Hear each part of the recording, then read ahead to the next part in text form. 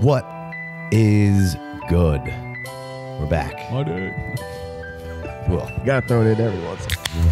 all right. Don't don't scoff. All right. what are we doing? I caught a little. Jay Wayne didn't have a shirt on when I was coming. I ca- caught a little When you were coming, half naked Jay Wayne and the. had to get the T represent. We're back. We're ready to roll. Buy lows. Must buy now before it's too late. No big codes. Move to make. Buy nows. Buy lows. Whatever you need. Whatever you got. You know, we would much rather be here doing a week two review, but we got to do these shows for your pleasure or the algorithm. So here mm. we are. Mm-hmm. And we better get to it or they're tuned out already. Yeah. Well, Who's we got a, we got a good one for you. We're going by lows. They already left. Um, we're gonna go Take your shirt off. in in no particular order. I guess we go in order. Oh, we're going in order. Tank, Tank Dell. Dell, Olave, uh, Brandon Aiyuk, Garrett Wilson. Got a couple other ones at the end we could throw in there to, to go ahead and snoop around on. You just gave them the whole list. Now they really can tune out. Well, whatever. I mean, sure, that's fine. See the timestamps. Hit me in the gotcha. comment section below. Make I sure you hit you. like, subscribe. You know. Yeah, be sure to check us out on the Patreon side of things. You can uh, catch an extra episode every week. We're reviewing The week. the week Every week. Sunday, extra show. Catch you at 9 p.m. You can hop on there. It's live. You can ask some questions. We're we're kind of just recapping what happened on the day's action, talking a little fantasy, talking a little real football, Recapping what happened. capping. All right, No cap. No cap, kids. Tank Dell. Got to be on the buy low list. Dog, right he should have had an amazing week. I mean, he just blew it. Yeah. He just he just short arming it. He's doing what what people want Quentin Johnston to be doing, Mm. which is just not. You know, he could have easily had a touchdown. That was a beautiful throw. No one in front of him on the run. He just bleh. Yeah. And then there's another one on along the sideline. A couple of plays, and he has a huge day. I can't remember exactly what happened week one, but there there's two down weeks for you. Mm-hmm. And that I mean, and Nico's being a beast. oh right now. I mean, Yeah. Nico's slaying it. Diggs had a good week one. This was bound to happen with the rotation of the Texans, and it's not to say in the next two weeks Tank Dell isn't the Nico Collins of this offense scoring all the points, and then it goes to Dig, you know, goes kind of all around. Uh, but Diggs isn't going to be there forever, and and Tank Dell's a guy who averaged like 18 points per game last year uh, with Nico Collins on the field. He's Stroud's homie, which you know isn't necessarily a reason to draft somebody, but it's, it's not the worst. Kelce and, and Patrick Mahomes has made a living off of that. But Tank Dell, very good player. It's just not happening for him right now. Uh, obviously, you know, not commanding the, the super high target share, but not terribly behind Diggs uh, right now. You got Nico commanding 25% of the target share, Stefon Diggs 17%, and then uh, Tank Dell right underneath there with 16%. So it's kind of all going to those guys. Uh, a little bit to Mixon, he's not on there. Uh, that's fine. And then you know Schultz mixes in, but this this those that target share percentage could be shifting around all season long. Tank Dell could easily get going in games. Uh, this is this is an easy easy buy low for me. Uh, this is dynasty. We're not playing half a season. We're not reacting after four games and thinking the sky is falling. Tank Dell's a good player. I've already seen it. I've already seen him put up off numbers in this offense, and we're we're evolving and going further and further. Slowik's in his second season and now calling plays. Things are getting even sexier over there. Now, hopefully, he stays around because people love grabbing that that Shanahan tree to make him their next head coach. Already had some interviews after his first season, so that would be a bit of a bummer. But tied to a a uh, a good quarterback who probably has put at least to bed some doubts of whether or not that was a, a fluke or not coming in and having some some good solid weeks here and looking looking really really strong. I mean, who had doubts? I mean, I mean, there was plenty of people who were like, "I like it, but I need to just I need to see it again," and maybe we need to see more for those people. But Nah. Man, when he throws the ball and the ball Um, Yeah. leaves his hands, you feel like it's Well, about to be completed. everything's good. Everything's right. Every every everything's really going well uh, over there for for the Texans and C.J. Stroud. So And that defense is humming too. First buy low, I would I'd easily give you a first for him uh, Sure. for for Tank Dell, Tee Higgins or Tank Dell. Mm. You know I love the Tigers. I know. I'll take Tee Higgins. Yeah, Big Co's here being like, ah, I gotta take Tank Dell. Oh, for sure. If he was here, he would be taking Tank Dell. But I'll- he's not, is he? he's not here. I'm over here having to produce and lug the reps. I, I, you know, that that's a really close one. You and I think you can go either way. I'll, I'll cop out on that a little bit. I'll buy T. Um, Higgins right now. It's a great buy. Oh, for sure. I almost put him on this list. Yeah. As soon as he misses a game, they're j- everybody's back out. Yeah. Remember that? I, I, I'm going to go Tank Dell just for the sake of if Tee Higgins isn't out there right now. That's now. not low buying. No, that's not terribly low buying. No, that that was kind of average price. Medium um, pace, in and out. From, but it, there's a third on here. That's not realistic. Tank Dell for Rhamondre Stevenson. You could cash in on Rhamondre's good season right Tank now. Dell, baby. Um, DJ Moore, Tank Dell in a third. That's not really buying low either. Th- Where you were buying DJ Moore now, maybe you're worried about the direction of the Bears, so you're you're interested in that sell. I think the Bears got better week two, even though they lost. I like this deal. D'Andre Swift Waddle for Dell and Odunze. I'll take Oh, the Dell and Odunze side. Really? Yeah. Rome and Waddle were similar value. in- Waddle should be on in, this buy low list too. in the in the offseason and then Dell over Swift all day. Yeah, I'll take the I'll take it's. that. I feel like Waddle's the best player in that deal, so it's always tough for me to give up. He's the best, player. player. in the deal right this second, but Dell's not far behind him at all. And Rome Odunze could easily end up being the best You know how much this deal. Tank Dell weighs? I don't care. uh, Alvin Kamara, you capitalizing off Alvin Kamara. Uh, you know, good, good. Yeah, uh, two and Tank. You know, it's not two, the four, worst. and tank. You know, and a if, two if, QB.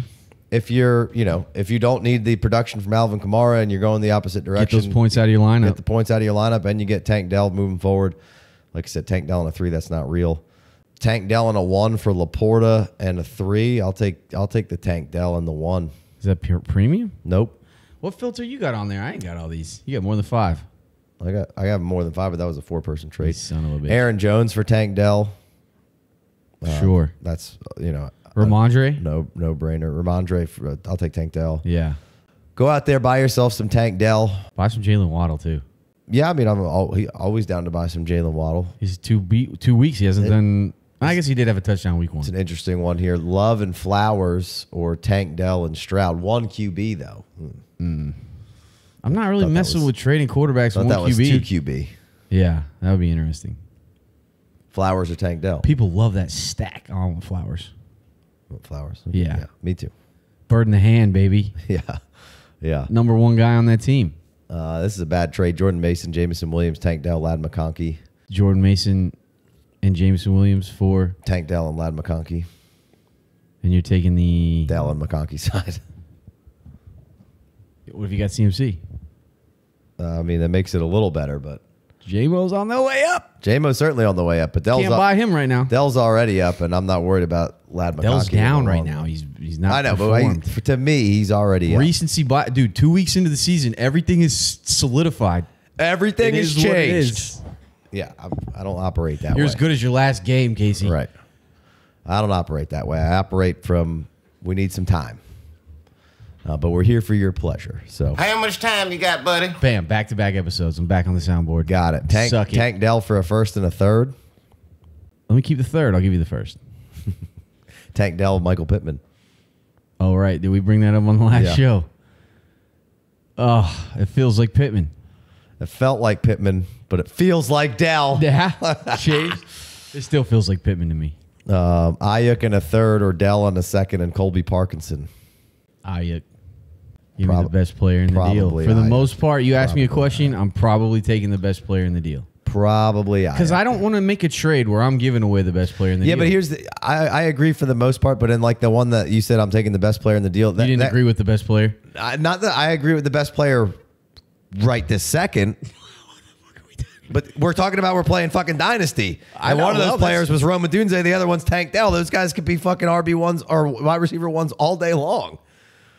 You know, Tank, Rome, Rome, not so far. whatever. It's his second game with a rookie quarterback. He's got an MCL sprain. They I'm, should have been playing good. probably. I'm good. I'm fine. Like I His hand have- placement isn't where it needs to be on I'm the still so fine with Rome Odunze. I'll buy all the Rome Odunze I could buy. I've never been more sure of a prospect working out than Rome Odunze. Never? that's what. I, well, that that I'm not saying he's going to be great, but I'm not. He's not going to be a bust. Is what you know what I mean? Like I'm not saying he's going to be as good as you know Malik Nabers or Marvin Harrison are right this second, but I think he's going to be really, really good. Uh, and and at, at baseline, just not bust. Hey guys, a quick reminder to head over to patreon.com slash the FF Dynasty to sign up for a free membership to get access to the free Discord channel. Or hit your boys with the $5 holler and get access to extra shows, mock drafts, roster reviews, ADP, and player pages. All for your pleasure. All right, let's keep it moving. Uh, let's go Chris Olave. Obviously on the Saints. This is how this works, kids. You have two bad games to start the year off that don't live up to expectations, and that's a good player, and you know they're good, and they have a good value and good draft. All this, you you, you go buy them. You try to because they're obtainable now. Because if he was doing what he should be doing, he wouldn't be obtainable. He's but he's wide receiver forty five. People are already frustrated. You got to take advantage of the short term redraft minded style players A thousand percent. and go grab players that have a couple of down weeks.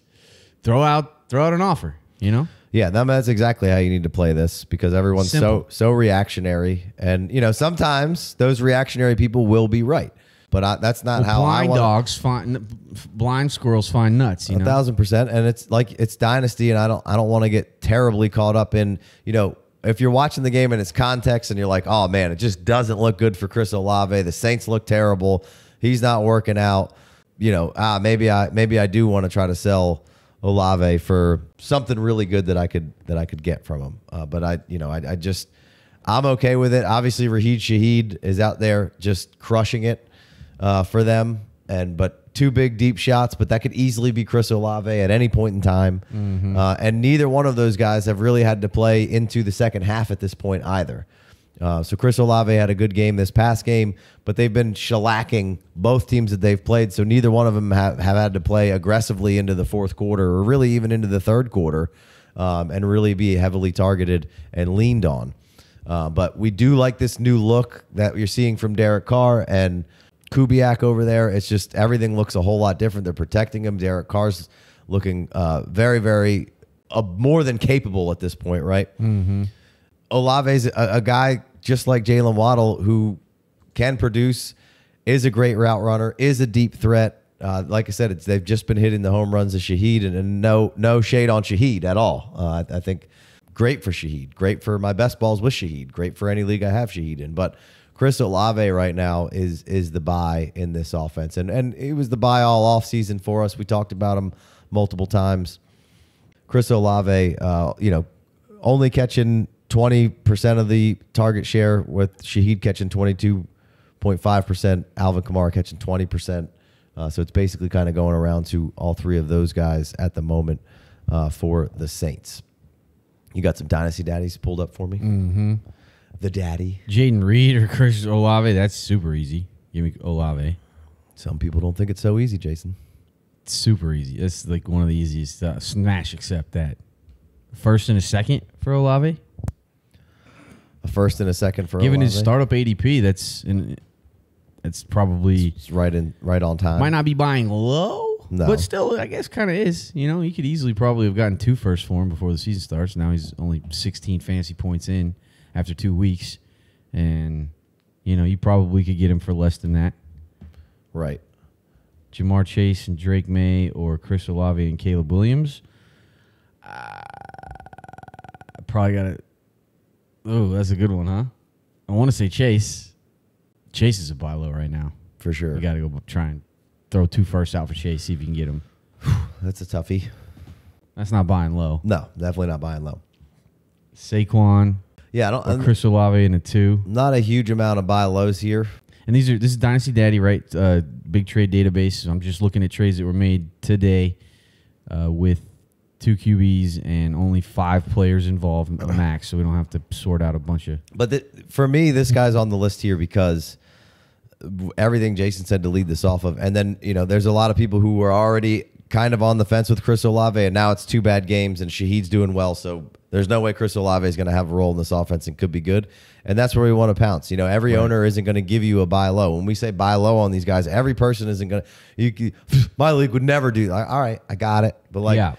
you know, 11 uh, you sure the 11 guys in every league who are Chris Olave, you know, one of those guys doesn't have a different opinion on Chris Olave. Like everybody's values are a little different. Um, we can be talking about the median value on uh, Chris Olave all we want, but somebody wants to get rid of Chris Olave right now, and that's what we're talking about. Right. That's what we're talking about the buy lows. So sometimes you go on the Dynasty Daddy, and, and maybe it's not all popping up as trades that are uh, great for your quote unquote buy low per se, but um, it doesn't mean that there isn't a possibility of being able to grab Chris Olave at a very good value right now, and that's why he makes this list. Uh, and, and and I just I just see the Saints. You know, they went from a team where the worry about the Saints was that that offense was going to be dog shit, and you were worried about Derek Carr. Now it's week two. I, you know, the Panthers obviously stink. Cowboys came off a big performance uh, and then laid an egg there. Uh, kind of what the Cowboys do from time to time. Love it. I, I don't know if, if the offense that we're seeing from the Saints is going to be the offense we see all year long. If they are, they're going to be a great team because that defense is good. Defense um, is good, and Kamara is playing out of his fucking mind. He looks Right. great, just slithery like like the old Kamara, you know. But the trigger Matt Forte having his best season at age 28. the roles in this offense that are that are available, I think, are are very very strong, and I I just I like where the scheme of this offense is heading, and we've just like I said, we haven't even gotten four quarters of production from those guys because we haven't needed it because they've been getting beat so badly, or they've been winning so so heavily. So goodly. yeah, uh, so well. You know, first down per route run, Chris Olave sixth overall, and that's a that's a stat that the uh, analytical community really is hanging their hat on right now. Yeah. So Puts the anal in analytics. you you got to really really uh, enjoy that. That's a good stat right there. Right now, he's not high on the first read percentage stats. Stats. Uh, Shaheed is holding that down for them, but that could easily change, and they could. They're, they're not terribly far apart. That gap can close, and then Olave could go up there. Shaheed's probably had the better matchup for Carr, and they've been, like I said, only you know they haven't had full games of getting the data of who the first read guy is when you need it, when you have to have it in these certain because they haven't had to have it anywhere. So.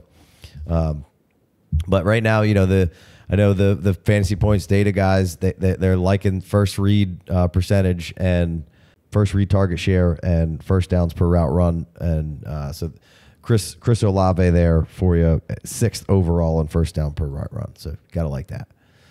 Uh, all right, let's keep it moving. Let's go over to Brandon Aiyuk. Now, obviously on the list here because just what we said with all the rest of these guys So simple. what wasn't any good. Uh, missed a big chunk of the season. Got paid to be the man and hasn't been the man to be expected here a little bit. You missed a whole bunch of camp, uh, but hey, I wouldn't have paid you this much money, but the Niners did. You're here. You're a very good player. You're not great, but guess what? CMC's out. Deebo's now out. You need this is you just got paid this amount of money to step it up right here and be that guy. Right. Deebo Deebo being out might might increase the price here on Aiyuk. Maybe maybe a little bit, but you know I, I think uh, there's there's probably already some people who were fence riding on Aiyuk, and if you still have him, you, you might be down on him a little bit. Uh, I I just there there's potentially the, the the Deebo news certainly doesn't help the people who are holding Aiyuk right now. That would be Which is just a couple games, right? I don't really know, but you know the Deebo thing could certainly affect the Brandon Aiyuk price tag. But you know you can go out there right now and, and send offers for Aiyuk and, and see what you can kind of drum up. I, I feel like there's probably some good deals out there. I felt like the Dynasty Daddy stuff wasn't was was pretty decent uh, for Brandon Aiyuk. I would certainly trade you a first for Brandon Ayuk. Easily. Uh, we'll we'll see this uh, kind of play out. He, he's he was a very good, very productive receiver for the Niners, and which is why they, they wanted to keep him around, and which is why they wanted to pay him. Uh, and and you know, kind of here we are. Uh, we got you only got three trades up there. We got a a first and a second for Aiyuk. I would do that, I think. Um, 26 second Yeah, a first and a third, and Chig easily. for sure. Uh, a first and a third. Nico, uh, nope. Brandon Aiyuk, a first and a third for Baker and Nico. You you're keeping Nico and Baker. It's two QB. I mean Nico, you want Nico over Aiyuk, right? Uh, yeah. And then Baker for a first and a third. Uh, it's probably a little high on Baker. That's a decent trade. It was, at Yeah. first, I was, uh, you know, Aiyuk is at least held serve with where the value is, and I think maybe just just in case people are down low, go go go send some offers out for Brandon Aiyuk. All right, let's keep it moving here. Let's go. Uh, let's go. Garrett Wilson. hasn't exploded, but hasn't necessarily crushed you. But I, people are are probably as the price tag goes up on these guys, what you paid for them.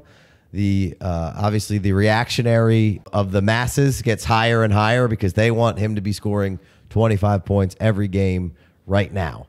You know, we just talked about those the, the stats that the the analytical squad is really liking right now. Garrett Wilson ninth in first read target percentage with 35 percent.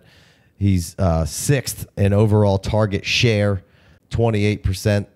You know, it's all there. 45th percent uh, in air yards for the team. Like, it's eventually going to explode. So, if anybody is sleeping on what the production of Garrett Wilson is right now and what it could be, I have no problem. You know, that's that's a two firster all day for me if, if somebody wants to go ahead and give and, and look, everybody isn't, like we're saying, everybody isn't going to give you uh, a, a really good deal. The- These are guys who we know uh, have high end potential and have shown that they can play at a high level, who just aren't getting the output for one reason uh, or another here, right?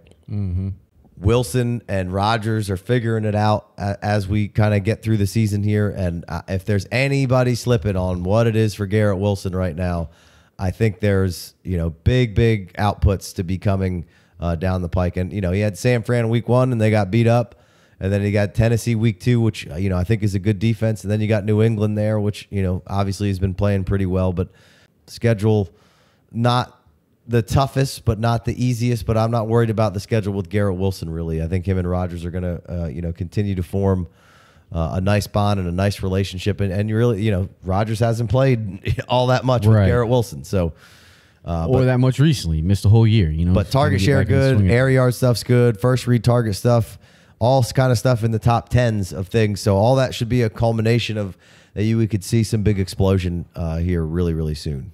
So Garrett Wilson for Saquon Barkley on Dynasty Daddy for sure. Mm-hmm. Xavier Worthy a first and a third for Garrett Wilson. Let me get that. Sure. A first, a first, a second, and a first. I mean, that's I think that's right on car. There's two firsts for Garrett Wilson. Uh, Garrett Wilson or Jahmyr Gibbs. Gibbs. I need that running back, that high elite, young ass, dynamic running back. If Rodgers Good was- offensive line. If Rodgers was 36, I'd say, I'd say give me that. Uh, but that's a terrible trade. Davante Adams and Stafford for Garrett Wilson and Daniel Jones. That's three firsts and a second for Garrett Wilson. Yeah. That's too much. Yeah. That's not. That's why I said that's probably right on par for what. I mean, no one should be more than three firsts, right? I mean, you know, Three firsts is like three first is kind of your of standard the- starting price for the starting every guy. big big time guys. Yeah. Saquon, Aiyuk, and a fourth. Is that what that says? For Wilson and a second, I like that. I'll do that. Take that. you'll take the Wilson side. It's starting eleven, which is it puts more value on the more player side. Starting eleven. Which side do you want A lot of guys. I'll, like the Garrett Wilson side. On that Okay. There's some opportunity on on on the daddy over there. you know, we could talk a little. I think Chase. You mentioned it. Got to. You know, just the same theme here. If, if anybody's Chase hasn't come out there and compete, some people are like the Bengals are done. I heard uh, Chris Canty on ESPN Radio this morning, like, bro, I can't believe y'all motherfuckers have jobs. It's just you just get to say inflammatory shit, whatever you want. Then nobody's gonna give a shit. Six weeks from now, one guy might call and be like, "What were you talking about six weeks ago?" Like, but the the Bengals are done. They just gave. Arrow- shoulda won. They should have won, and then now they do play. Man, uh, if Iosivas would have caught that last ball, which he he, he scored twice, but then he he Right. could have come up with one that would have really just iced it. But, But if anybody is worried about the elite level of play from Chase, I, I think it'll be fine. Uh, Burrow Yeah. seems fine, and you know, I, set, go ahead and send some feelers out for that as well. Gotta be. You know, I don't, I don't have any problem for that. And then George Pickens would be the last guy on this list. Two games now where you know the first game was okay. Now the second game he had a like a 54 yarder called back, which was a nice throw by Fields and a great catch by him, and then a touchdown that was awesome. Where I don't even know what the hell the foul even really was there. I, I you know uh, on the touchdown yeah, for the- Pickens. it's called illegal motion or something like that, and the guy was just in motion, and after the play, he was all pissed off and kicking himself. But I, I, I saw the play. I didn't. I wasn't listening to it, so I didn't understand what the explanation was because you're allowed to have someone in motion, but maybe I don't know. Is that Fields' fault? He put him in motion at the wrong time, and Nah, I don't you know, know. I'm- Probably just a I didn't quite understand it, but But it- it's great- right there. He- great play. Should have had the touchdown. Pickens 32.3% on that first read target percentage. So that's that's like top 15 up there with a whole bunch of killers. You know, Jameson Williams is up there, Quentin Johnston's up there. Uh, so you know, some people don't like to see that, but a lot of really really good names up there. You know, you got DK and Garrett Wilson and Rashee Rice and uh, Nico Collins and Chris Godwin and Davante Adams and Justin Jefferson all up at the top of there. Cooper Kupp obviously uh, just went down. Target share for Pickens. Pickens is 25.6, so up there with a healthy percentage for him. Uh, and it should stay that way. There's no, it should even go higher. If they could Throw the know, ball throw the ball more. a little bit more.